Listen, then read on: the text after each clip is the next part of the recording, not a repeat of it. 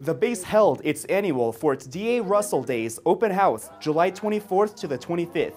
Free to the general public, attendees were able to travel back in time to taste a piece of history. I think that heritage is also important when making decisions today. History has an apt to repeat itself. So history repeats itself.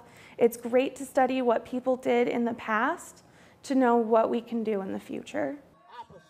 You can see um, there are reenactors there that you can interact, ask questions with. They're very knowledgeable. And a gunfight breaks out on a calm afternoon. Besides thinking in the past or future, Fort D.A. Russell Days is a fantastic opportunity for people to spend time in the now, to enjoy present moments as they happen and form memories that will last a lifetime. U.S. Air Force Airman First Class Anthony Munoz reporting from F.E. Warren Air Force Base, Wyoming.